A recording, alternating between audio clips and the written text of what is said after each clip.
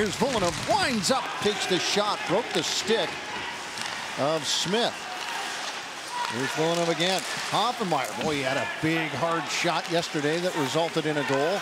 Villeneuve with that stick out there as he tries to get by it. It now ends up doing the work all by itself to get that puck out. Andreasen working back. Villeneuve with good skates to get back into the play. Following it, Sebrango shoots, he scores! And an early goal from the Grand Rapids Griffins as they take advantage of a broken stick to race back the other way and put one behind Ferguson. So Johansson sits in the box for two minutes for delay a game, and the Marlies will get their next power play opportunity. Those are the ones as a defenseman, you see that puck over the glass and you think, oh. Scores! That one finds its way into the goal. The original shot, the touch by Joey Anderson. And it's in behind Olkinuora to tie this game up with 2.20 left to go. Yeah, the back check was coming quick. You know when you get those chances that you got to attack with speed. Got it with speed, cuts to the goal, backhand, stopped by Olkinuora. And now right back the other way. Here come the chances. Over the line, waiting to stay onside. The shot scores! And Dominik Shine gets a piece of this one and makes no mistake with it. They're going to change things out as Czarnik gets out front and L'Esperance comes in. Puck in the mix. Back it comes. Tapped at the line. Douglas trying to get there. Played back to the point. They get back into position. L'Esperance rolls out front. Czarnik waiting on it. Moving it quickly. Back over. Shoots. Scores. Luff with a rip into the goal. And he puts the Griffins up 3-1 on the power play. And I think this is going to be five on four rather than a four on three power play. I think everybody had been released there.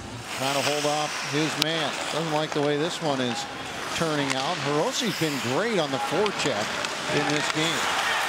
Steeves quickly finding some help. Joey Anderson shoots, scores! Toasty! Joey Anderson with his second of the hockey game to bring the Marlies within one, a four-on-four 4 goal. Back checked on the play. Criscuolo got a hold of it and right back out into center and down the ice into the Marlies zone it goes. A little push along there, but it doesn't get far. Hirose has had some speed in this game. Bringing it back in front. Up top. It goes. And Criscuolo is going to put the Griffins up 4-2 calling for it Steeves. He gets a hold of it. Right back to Hollowell. Logan Shaw looks in. Down low it comes. Quick movement here from the Marlies. Trying to take advantage, but nothing seems to show itself. Shaw takes the shot, letting it go. Hollowell tried to get it back, and it is picked up by Hanas, and this will end it. Well, a little emotion there from Hanas. He didn't just put that puck into the empty net. He took a he took a full slap shot, and I don't think the Marlies are really happy about that.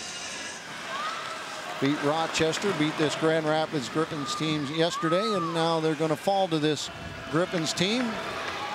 They are now 1-1 against Grand Rapids this year, a team they were 3-1 against last year. They'll head to Grand Rapids later in the year for two there at the Van Andel Arena. But uh, a well-structured win from Grand Rapids this afternoon.